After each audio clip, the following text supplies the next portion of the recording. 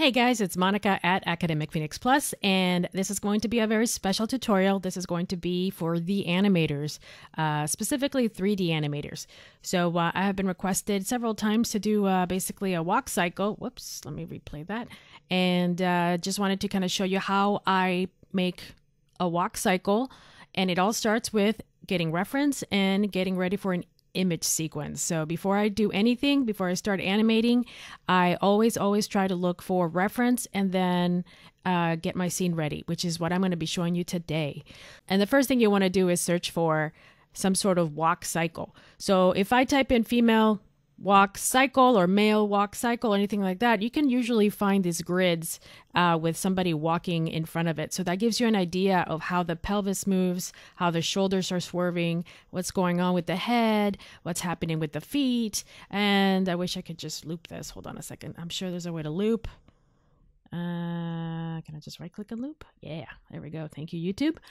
So you can see how the hands are, what the hands are doing. So there's a lot going on when it comes to doing a walk cycle. So usually you want to start out with a bouncy ball and then something with a tail and then legs because a whole humans actually we're very complex. And we're so used to seeing humans every single day including ourselves. We know if it's weird or not appropriate. So or doesn't look right. So we want to make sure that we captures those subtleties that make this character or this person have a uh, look not only alive, look real, but also have a personality. All right, enough of that. Let's go ahead and get started. So this is the video that I'm going to be using. Um, what I usually do is for educational purposes, I do download it and convert it into an MP4. I've already converted into an MP4, so that means that I can convert this into an an image sequence, and that's what I'm going to demonstrate to you next. Now, I've done some research and I can't get my Maya to upload uh, an MP4, but um, I'm going to show you how I figured a way around it. If somebody can figure it out, please feel free to leave a comment below. But I couldn't get it to work in Maya 2019.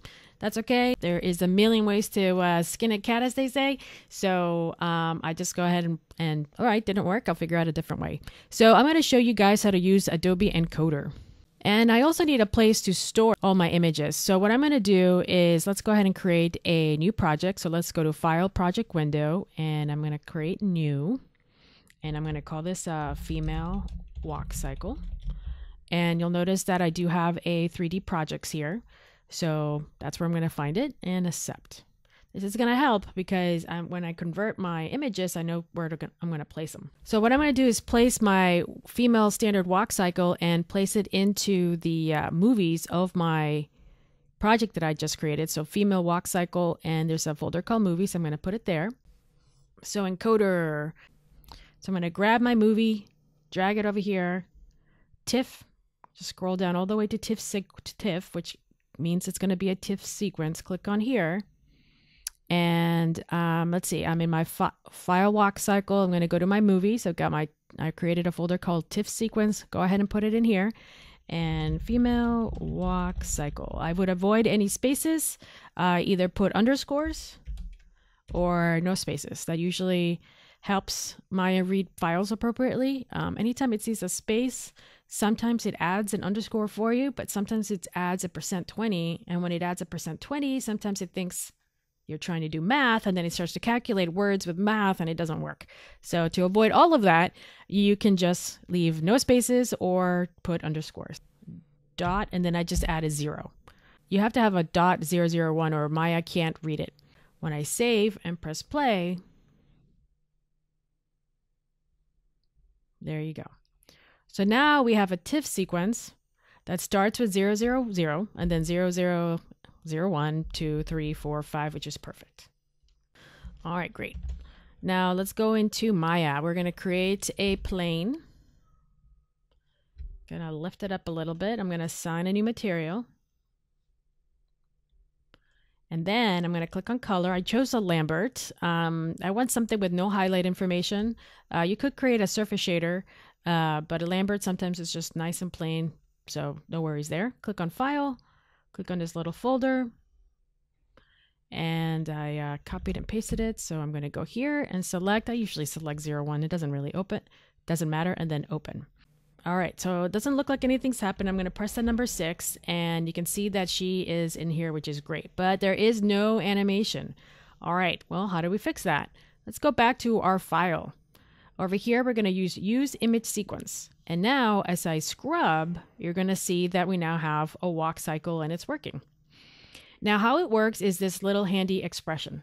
If you go to image number uh, and I'm in frame 98, it actually looks for frame 98. Right now it says 001, but um, it actually calculates, like, can you see how it says 45, 45, 50, 50? It actually gives you a frame, which is awesome. So let's go ahead and set this up. Really, really handy. By the way, this method is not to just use for references. What you can also do is you can put in like television, like if your character is watching TV, you can put image sequence on the television. Uh, if you want lightning in the background, you can use image sequence like outside a window. You can use an image sequence instead of actually creating lightning. Uh, you can do all sorts of stuff with image, uh, animated image sequence. Let's find out what the what the, let's go to right click properties details the aspect ratio is 640 by 360 so I'm gonna let's see I'm gonna bring this to 11.496 so that it's even. Then I'm gonna freeze this transformations. Oh man I got the worst memory. Um I'm sure somebody remembers. I even screwed up 640 by 360 6.4 by 3.6. Bam. Bam. Oops, wrong one. 3.6. Bam. There we go. Whee. All right, just to be safe, delete the uh, freeze the transformations. You can also delete the history if you like and place it where you like. And we are basically ready to go. Uh, let's find what's going on here. Let's press six. So this is going to be the front.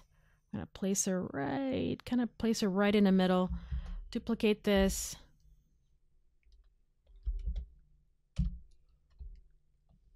Whoops. 90 degrees. Let's see. Press 6 here as well. And then put her.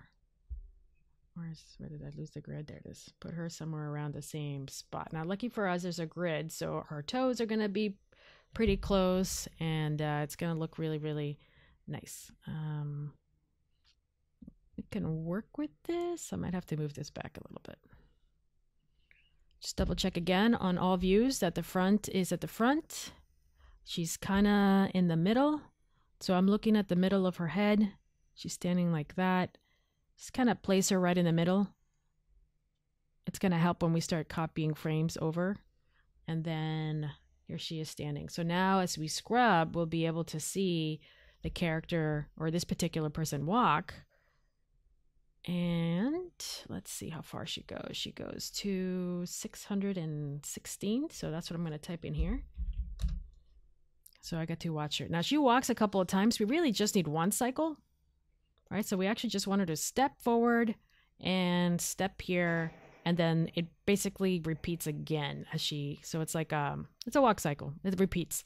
So we won't need all 600 frames, but this is a really good start. Cool.